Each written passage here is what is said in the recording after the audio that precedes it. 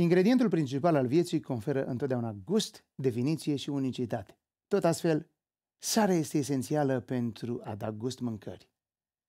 Biblia ne oferă astăzi o perspectivă deosebită asupra acestui element. Citez, voi sunteți sarea pământului.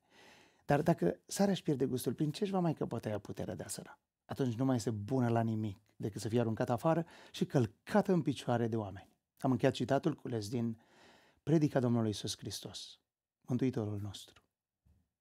De ce această analogie? Ai putea întreba tu.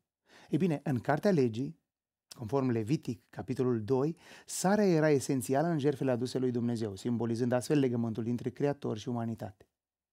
Credincioșii sunt așadar exemple vii ale acestui legământ, un soi de emisare ai dragostei divine.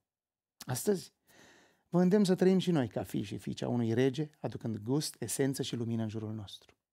Dacă alegem să fim definiția divină în grupul nostru de prieteni, de colegi sau pur și simplu printre oamenii care ne înconjoară, vom primi cinste nu doar de la aceștia, ci și de la Dumnezeu. Confruntându-ne întotdeauna cu lumea și confundându-ne cu mentalitatea ei, ne vom pierde esența și sensul divin devenind precum stelele căzătoare.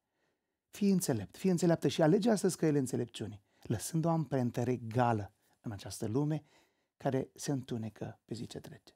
Fiți binecuvântați!